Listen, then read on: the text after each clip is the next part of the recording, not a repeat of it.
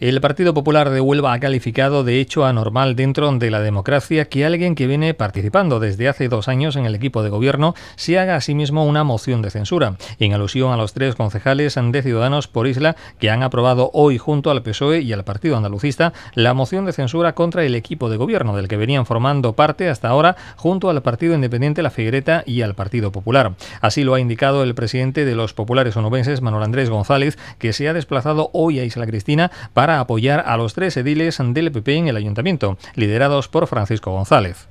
Es normal y legítima, eh, ilegal por supuesto, en democracia es anormal que una persona que ha formado parte de un equipo de gobierno se autocensure. Es decir, quien eh, va a rubricar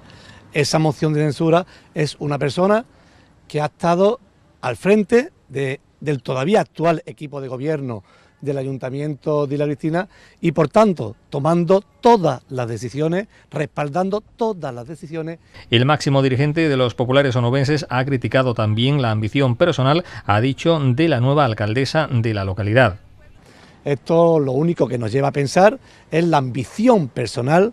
de, de, la que ha sido teniente de alcalde hasta estos momentos y que sin nadie los remedios en el día de hoy se va a convertir en alcaldesa de Isla Cristina. Por cierto, una alcaldesa que eh, fue la menos votada de los grupos que conforman el Ayuntamiento de Isla Cristina. González, por último, ha defendido la gestión en el equipo de gobierno del PIF y el PP, que afrontaron el mandato en el Ayuntamiento con una deuda de 40 millones de euros generada por equipos de gobierno socialista y andalucista, con los suelos e ingresos hipotecados o donde los trabajadores no cobraban, según dijo.